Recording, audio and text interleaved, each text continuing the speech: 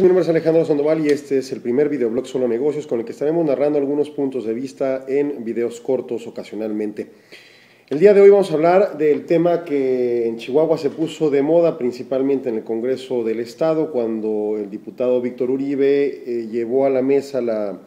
disposición urgente incluso de ser aprobado la apertura a 24 horas la venta de bebidas alcohólicas en centros nocturnos y lugares de entretenimiento contra la restricción actual que tenemos de esta hora 10 de la noche máximo y 2 de la mañana en los centros nocturnos. En fin, el tema es que eh, la propuesta viene con el objetivo y motivación concreta relativa al, al incentivar el turismo hace una narrativa de que la maquiladora creció en los últimos 30 años, pero que las actividades turísticas fundamentalmente y el resto de actividades comerciales y de servicios han decaído en ese plazo. Eh, también hace énfasis en que no se busca promover el consumo del alcohol de manera excesiva, sino atraer eh, turistas, sobre todo americanos. Bueno, yo quiero hacer algunos énfasis interesantes en nuestro punto de vista. Número uno, el primero, estamos de acuerdo. Sí, el libre mercado no debe de tener constricciones de horarios y en esa tesitura además se benefician otros elementos, como por ejemplo se eliminan mercados negros que existen desde las eh, restricciones de horarios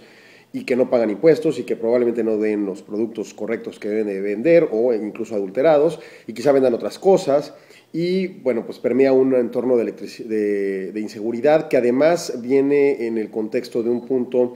de lo que realmente se llaman giros negros, porque curiosamente en el sector económico reconocen a giros negros como los centros nocturnos y eso es un completo error, ¿no? Los giros negros son los verdaderos giros negros.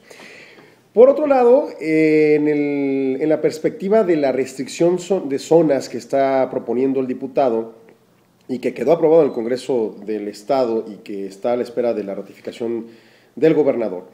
en su caso eh, me parece un error, porque finca sesgos de prácticas monopólicas que no son necesarias. Eh, ya tenemos suficientes monopolios en este país como para que todavía las autoridades incentiven la creación de más monopolios cuando además es completamente inconstitucional según el artículo 28 de la propia eh, norma suprema. Entonces, bueno, la zonificación es un grave error, debe de abrirse. Entiendo que es un programa piloto, pero el programa piloto debe abrirse a todas las zonas de una ciudad en concreto. Y si es funcional el programa en los siguientes tres a seis meses, entonces que se abra todo el Estado completamente y no se haga una restricción específica de unas ciertas zonas donde beneficia a ciertos empresarios y afecte a otros que no están en esas zonas ubicados. Eh, es un tema de competencia y por lo tanto simple y sencillamente es un pilar central de una economía libre de mercado y por otro lado es un pilar central de la Constitución mexicana, así que no debería estarse tocando el tema de zonificaciones. Podemos profundizar incluso, el tema de zonificaciones le corresponde mucho más o mayor peso a los municipios por las licencias de uso de suelo,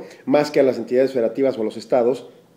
como en este caso el diputado Uribe y la Cámara de Diputados en general eh, generaron esta aprobación concreta. Por otro lado, eh, también es importante citar que la motivación, si bien no es lo más importante, me parece un error pensar que el turismo ha caído y que los servicios han caído. Realmente toda la economía ha crecido gracias a la maquiladora. El tema es cómo provocar nuevas eh, pues, mecanismos de crecimiento económico en diferentes sectores que no sea el industrial propiamente, o al menos el industrial de exportación, sin que menoscabe esos otros, porque este tema no lo va a eh, generar menoscabo realmente, pero que en su caso, como exposición de motivos, debería ser tratado de manera diferente. O sea, no es que haya caído el turismo, el turismo caído eh, no por la maquiladora y no necesariamente porque se restringían los horarios de los alcoholes, sino por la inseguridad pública, y entonces es un tema diferente.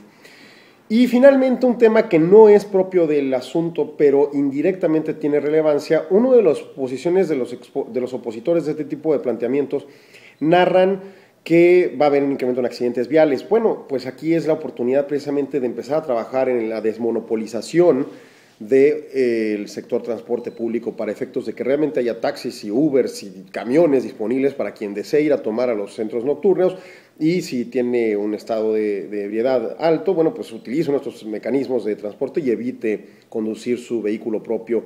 Además de que se podrían elevar las sanciones y los mecanismos recaudatorios para esos propósitos, para eh, precisamente buscar inhibir esas actividades. En fin, esta es la opinión de nosotros, estamos de acuerdo en conclusión, pero tendríamos que buscar un mecanismo de eh, eliminar monopolios y no incidir y crecer ellos, y eh, de una apertura, además que se le finca una periodicidad específica al programa piloto, tres, seis meses máximo, más de un año sería demasiado tiempo. tenemos que echar a andar este tipo de mecanismos de apertura y desregulación económica lo más pronto posible.